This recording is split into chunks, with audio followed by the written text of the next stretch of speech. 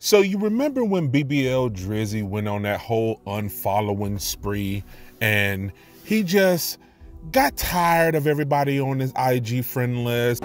Delete he started unfollowing LeBron, DeMar DeRozan, a bunch of different other people, quote unquote, that was his friends that he's tired of following at this point. Well, as it turns out, he's even more saltier than that. And he was just on stage talking about how he's tired of all these fake friends. You gotta hear this. I'm gonna tell you one thing about nostalgia. One thing about nostalgia this party. My real friends are definitely in the building.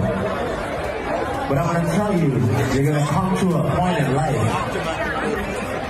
where people you thought were friends, or people you thought were close to you, they might switch up, they might try to move funny with you, they might stab you in the back, they might do a lot of things to you you'll come to that realization. Wherever you're at in life, you've probably been there and you'll be there again. That's how life is. But look, sometimes it's you and you alone by yourself. Sometimes it's you alone with your thoughts. Sometimes, you know what? Well, cry me a river, Drake. Cry me a river. Nobody cares about how you feel about people supposedly changing up on you how people feel and interact with you to current day is a direct result of you and what you've done to people.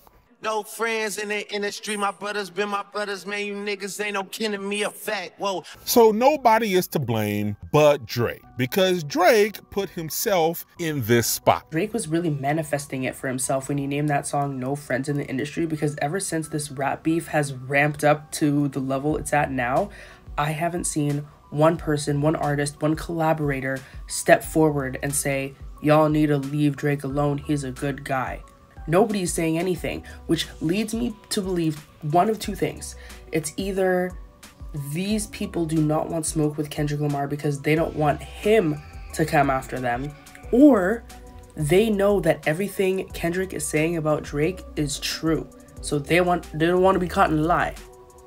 Either way, Drake's got to look at who his real friends are because um, no one's picking him up while he's down. So what do you think? You, you think this is just Drake being upset about the Super Bowl, be upset about the L he took in the battle, being upset about it possibly winning the Grammy at this point, and new music is probably going to be coming after that. So this whole year, this whole year is K dot year, and he's kind of bothered by it because him and UMG had plans for this year and it's all down the drain at this point. Put your comments below. Let's talk about it. This is Marcus at Work Media, and I'm out this bitch.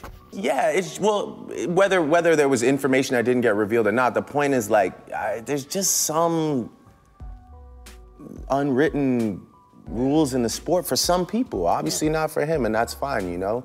Um, and he's just made an entire career off of it, you know. And some people like his music. I personally don't, because I don't believe any of it. And I like to listen to guys that I believe.